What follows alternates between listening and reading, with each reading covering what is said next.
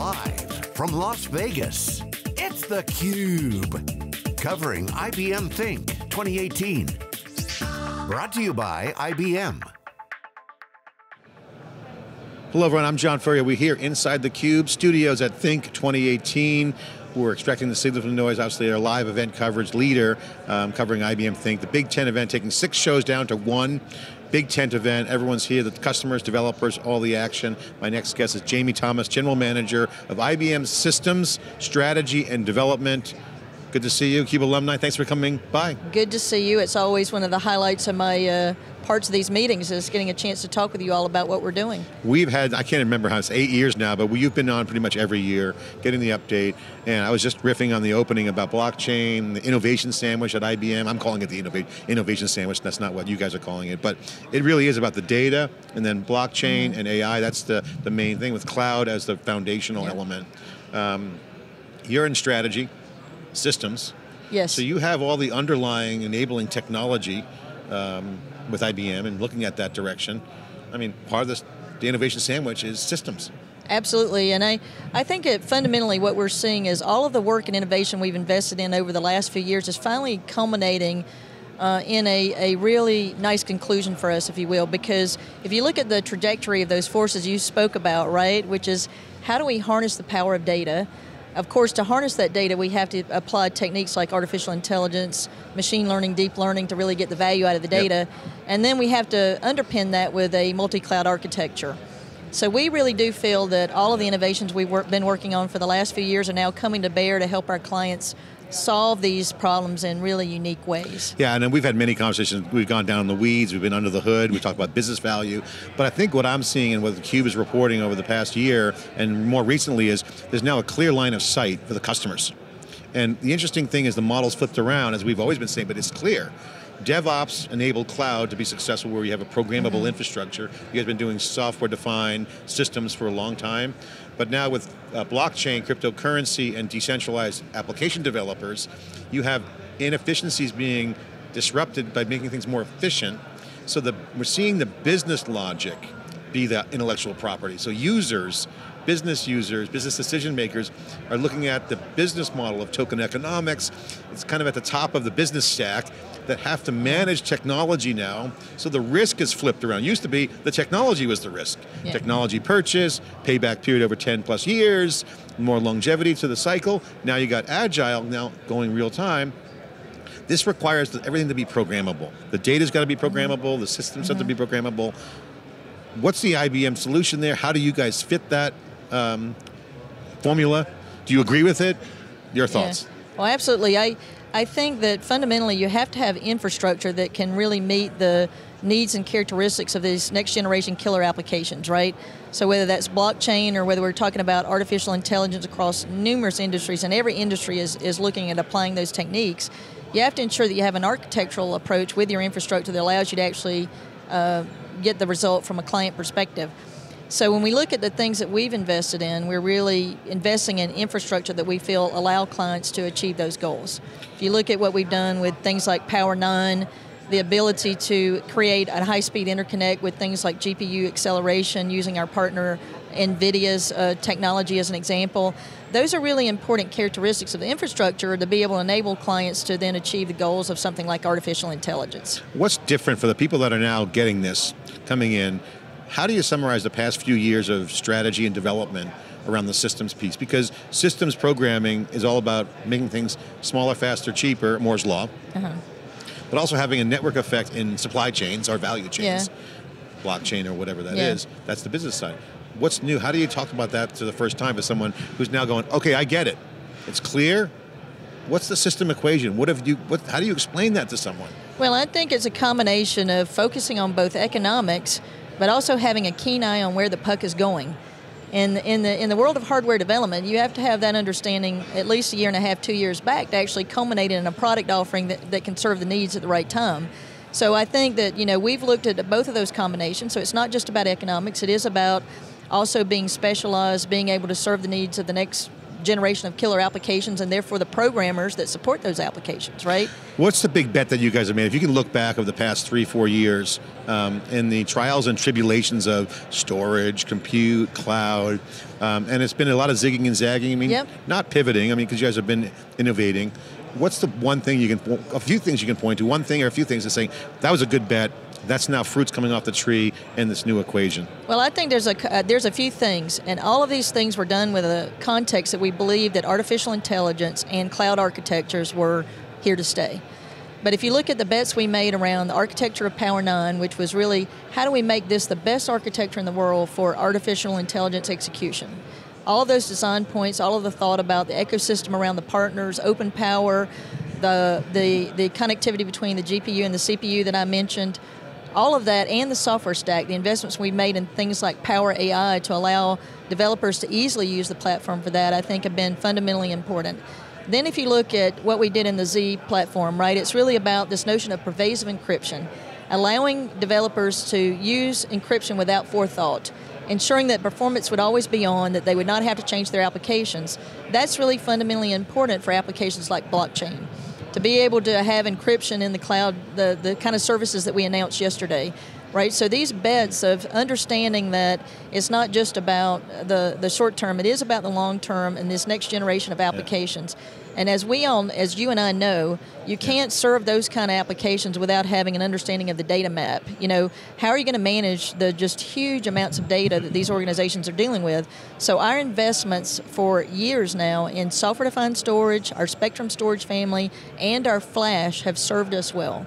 Because now we have the me- mechanisms, if you will, at our fingertips to Yeah. manage storage and data in these multi-cloud architectures, as well as um, improve data latency, access to data through So the things we've is done. critical there. The, yeah, absolutely. The things we've done with Flash and the things we've done with our high-end storage with the mainframe, the Z hyperlink capability that we built in there between the KEC and the uh, storage device, those are really, really important in this new world order of these kinds of next generation applications. Yeah, skating to where the puck is is great, and then sometimes you're you're there and the puck comes to you. uh, however, you whatever more you want to look at it. Um, but take a minute to explain um, your role now. What specifically does systems mean? Is that uh, where does it where does it begin? Where does it stop? You mentioned software stack. It's obviously software-defined storage. We get that piece. What's the system portfolio look like? For But we're, we're focused on the modern infrastructure of the future. And of course, that infrastructure invar- involves hardware, it involves systems and storage, but also in funda- fundamentally involves uh, infrastructure related hardware, uh, software stacks, right? So we, we own and manage uh, critical software stacks, the creation of things like Power AI, the work with the IBM Cloud team to ensure that IBM Cloud Private can support our platforms, uh, Power and Z, um, out of the box. Um, those are all fundamentally important initiatives. We, of course, still own all of the the uh, operating systems everybody loves, whether it's Linux, AIX, ZOS, as well as um, the work around all the transactional systems. But first and foremost, there's a really tight tie, as we all know, between hardware and then the software that needs to be uh, brought to bear to execute against that hardware. They, the two have to be together, right? Yeah. What about R and D? What do you guys? What's the priority on R and D? Uh, it's the continuation of some things you just mentioned, but is there anything on the radar that you can share in R and D that's worth noting? Well, I think uh, uh, clearly we're working on the next evolution of these systems uh, already. You know, the, the next series of Power Nines, we have new new machines rolling out this month from a Power Nine perspective, and we're always working on the next generation the mainframe, of course.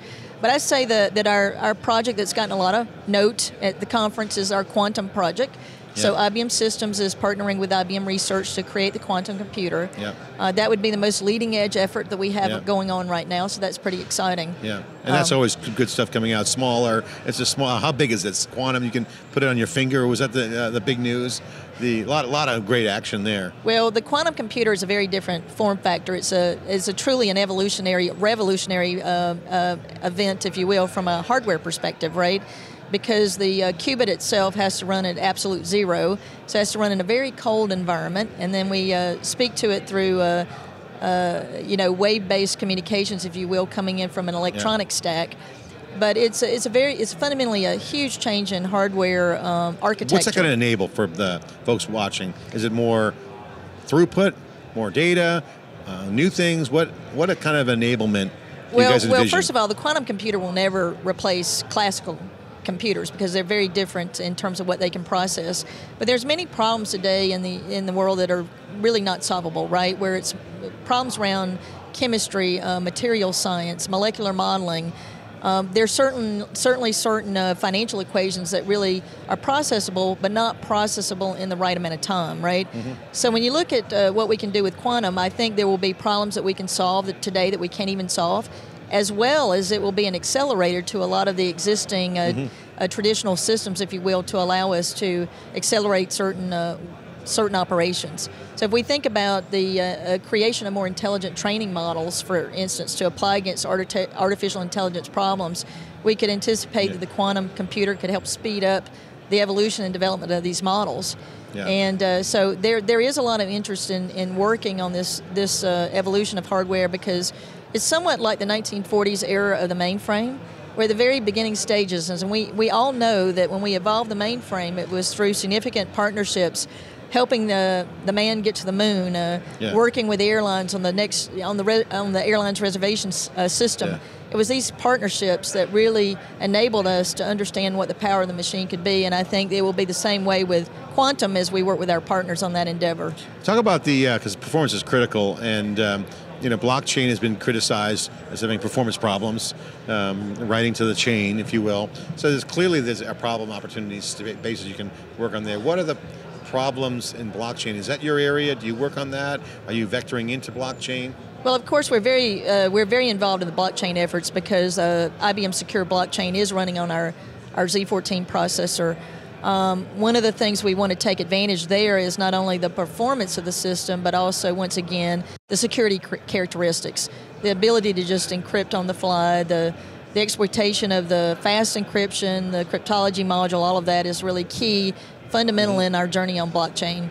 I also think that we have a unique perspective in IBM on blockchain because we're a consumer of blockchain. We're already using it in our CFO office, mm-hmm. and I've spoken to you guys before about supply chains. I own the supply chain manufacturing for IBM, and we are also running a shadow process for blockchain where we're working on customs declarations, just like Maersk was talking about yeah. yesterday, yeah. because customs declarations is a very difficult process, very yeah. la- manual labor intensive, a lot of paper. And so we are doing that as well, and we'll be a, a test case for IBM's yeah. uh, blockchain. And I heard work. from um, last night you have 100 customers already. you heard my opening. I, I was ranting on the opportunity that blockchain has, which yeah. is to, you know, take away inefficiencies. And supply chain, you guys no stranger to supply chain. You've been bringing technology to solve supply chain problems for generations at IBM. Blockchain brings a new opportunity. It, it does, and my team fundamentally re- uh, realizes this, of course, as a, a, a, supply chain organization. We ship over 5 million pieces of stuff every year. We're shipping into 170 countries. Mm-hmm. We have a, a, tight but dispersed manufacturing operations. So we, we see this every day. We have to ship products into every country in the world. Uh, we have to work with a very uh, dispersed uh, network yeah. through our partners of logistics so we see the opportunity in blockchain for things like customs declarations as a first priority, but obviously the logistics network. There's just yeah. huge opportunities here yeah. where far too much of this is really. You guys could run the table on this area. I mean, um, blockchain, supply chain, chain. I mean, similar concept. It's just decentralized and distributed. Yeah. Well, I think supply chain is such a, uh, an area ripe for this kind of application, something that's really going to break through what has been so labor intensive from a manual perspective. Yeah even if you look at how ports are managed, yeah. and Maersk talked about that yesterday. So you're long on blockchain. I, I well, I'm, I'm, I'm, excited about it because I'm a customer of blockchain, right? And I see the issues that occur in, in supply yeah. chains every day, and I, I, I, fundamentally think it will be a game changer. Yeah, I, am biased. I mean, we're trying to move our media business to the blockchain because everyone's de- everything's decentralized. Yeah. I'm excited by the application developer movement that's starting now. You're starting to see with cryptocurrency token economics yeah. come into play around the business model innovations. Um, do you guys talk about that internally when you do R&D? You have to cross connect the business model logic, token economics with the technology. Well, of course, you know that's a fundamental part of what the blockchain focus on, right? It's just like any new project uh, that we're embarked on. You've got to get the underlying technology right, but you always have to do that in the context of the uh, business uh, execution, the business deployment. So we're learning from all the engagements we're doing and then that shapes the direction that we take the uh, underlying technology into. Jamie, talk about the IBM Think 2018. It's a big event. I mean, you can't multiply yourself times six. You go to all the events. This is a big event. Yeah. Uh, you must be super busy. What's the focus? What's your reaction? Uh, what have you been talking about? Well, it's kind of nice to talk to you kind of towards the end of the event. Sometimes I talk to you guys at the very beginning of the event, so now I kind of have a retrospective of the things that have happened. I think that it was a great event in terms of showcasing our innovation, but also having a number of the key CEOs uh, from various firms talk to us about how they're really using this technology. Great examples from RBC, from Maersk, from Verizon, from the NVIDIA CEO yesterday, um, and also some really pointed um, uh, discussions around looking into the future. Yeah. So we had a research talk about, Arvind Krishna spoke about the next five big plays, which artificial intelligence, blockchain, quantum were on that list certainly, as well as now we'll be having a quantum keynote later today. So we'll dive into quantum a little bit more in terms of how yeah. the future will be shaped by that technology. But I think it was a nice mix of hearing about the realization of deploying some of the things that we've done yeah. in IBM, but combined with where are things going and and stimulating thought with the client, which is always important yeah. in these kind of in these kind of meetings, right? Is having that strategic discussion yeah. about how we can really real conversations. Yeah, real conversations about how we can partner with them to be successful as they leave this conference and go back to their their uh, home offices. Well, congratulations on a great strategy. You've been running strategy. We know we've talked in the past. Kind of had to bring it all together and bring it all into one package, one message, but still have the ability and flexibility to manage the tech.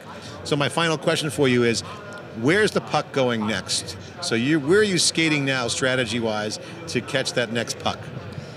Well, I think that uh, what we'll see is a, a continued um, progression, if you will, and speed around some of the things that we've already talked about here. Um, I think there's been a lot of discussion, for instance, around multi-cloud architectures, but I really think we're still at the tip of the spear in fundamentally getting the value out of those architectures. And that, that uh, real deployment of some of those architectures as clients modernize their applications and really take advantage of cloud, I think will drive uh, a different utilization of storage, yeah. and it will require different characteristics out of our systems as we go forward. So I think that, that we're at the tip of a, a journey here that will yeah. inform us. So right? modernization and business model innovation, technology enablement, right. all coming together. We were talking about that, right? So think about the primary use case of IBM Cloud Private right now is modernization of those applications.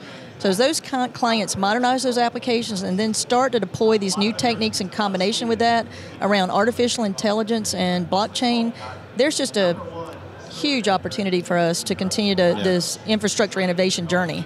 International Business Machines, the name of the company. Obviously, you know my opinion on this. We are we're reporting that the real critical intellectual property is going to for customers is going to be the business innovation, business model opportunities and blockchain, AI, exactly. really accelerate that piece. And as Ginni said yesterday, we're here to serve our clients to make sure that they're successful in moving from where they have been and the continuation of this journey.